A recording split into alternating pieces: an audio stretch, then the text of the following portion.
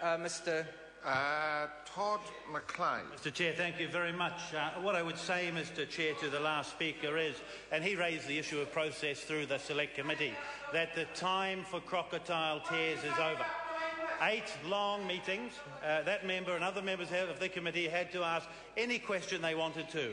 And the committee gave every opportunity at every meeting for questions to be asked. And what happened at the 11th hour, when it was time to deliberate, they were raised. So, Mr Speaker, when... Uh... A point of order. Uh, Honourable David I seek leave to table the minutes of the Finance and Expenditure Yeah, Committee no, when order. five weeks... Order. Now, the other day I cautioned the member he shouldn't interrupt a member on his speak, feet. I'm not denying the leave being put. I'm just saying it is a convention. Uh, well, uh, it's not for the chair to judge the veracity of the comment. This is a debating chamber, and other members can respond, and the member can, uh, between speeches, seek to ta table documents. Uh, Todd McClay. Mr Speaker, thank you. And I recall, and this is a part of my speaking, not speaking to the point of order, that uh, that, that was put up last week. Uh, members tried to table it. So it is time to move on. And that was the point that I was making, Mr Speaker, uh, Mr Chairman. Members opposite are telling us about a rush process. Well, let's, think, uh, let's put our mind back to the comments that uh, Honourable Tony Ryall made earlier.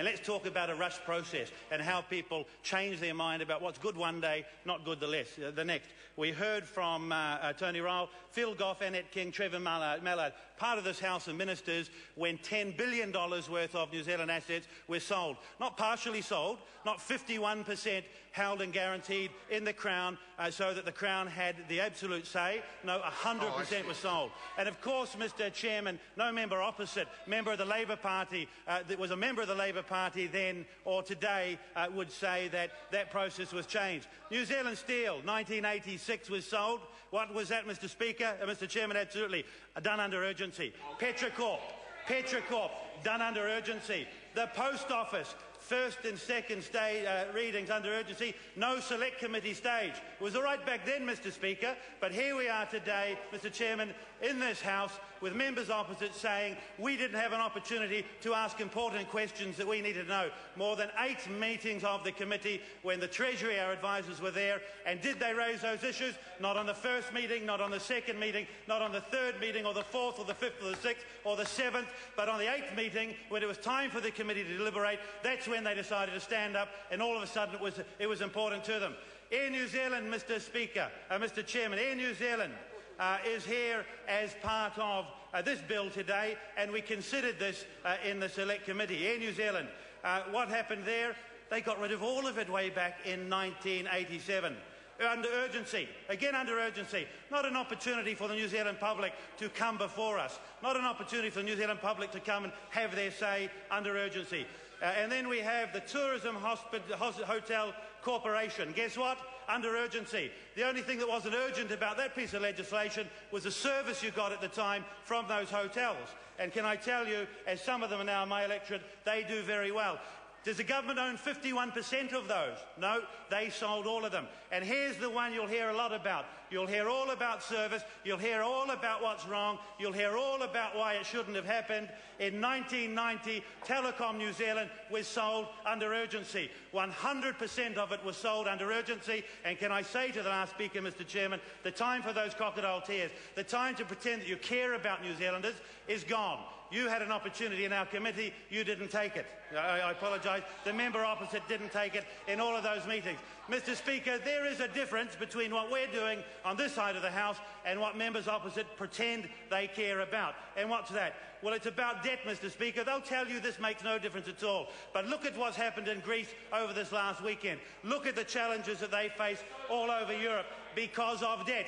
Now, members opposite will say to us, it's okay, let's borrow a bit more. Let's keep investing in assets by borrowing a little bit more. It doesn't matter. Actually, what they'll say to you, Mr Chairman, is let's push the age of retirement up by two years to pay for the woeful uh, decisions they have made and will make when it comes to spending. But that's not fair to New Zealanders, and I recognise members in other parties in opposition also believe that's not fair to New Zealanders to make them work harder for bad economic decisions that that party has made. Our debt level is, is to peak at 30% of GDP. And that's right, Mr. Speaker, Mr. Chairman, that's $72 billion of debt that New Zealand will have. Well, guess what, Mr Chairman? We heard when we were in committee about how much uh, New Zealand the Crown owns. $245 billion of assets. $245 billion of assets all over the country. And we aim to grow these over the next few, few, four years to $267 billion of assets.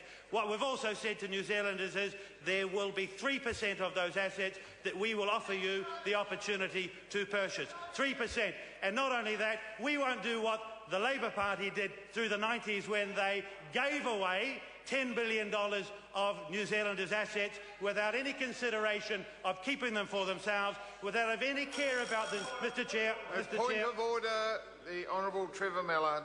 I was just, uh, as the member's speech finished, I was going to invite him to uh, whether he wants to make a correction now or later as to who was in government in the 1990s selling assets. I think it was the Order, National that's a debatable point. Well, it's Uh, not debatable. It's a matter of Uh, order, order. The members shouldn't comment.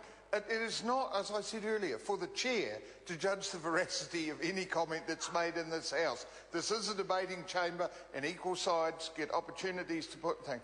And it, it, that is how this house actually works. David Clark. Point of order. Uh, point of order, David Clark. Point of order, Mr Chair. I seek leave to table the minutes of the Select Committee which show that uh, we sought advice from the Treasury about the effect of power prices. Now, now, I just want to be quite clear about this because we had some time last week ascertaining that when you say table the minutes of the select committee, pertinent only. It, right, so the member needs to make that clear, which I've now ensured. So leave us sort for that purpose. Is there anyone opposed to that course of action? There is. Mr, Mr Chair. Uh, Speaker, uh, David Clark. Mr Chair. David Clark. Um, Mr Chair, I rise to uh, speak to part one of this uh, bill in the committee stages. Um, Mr Ryall earlier spoke of a mandate for these sales.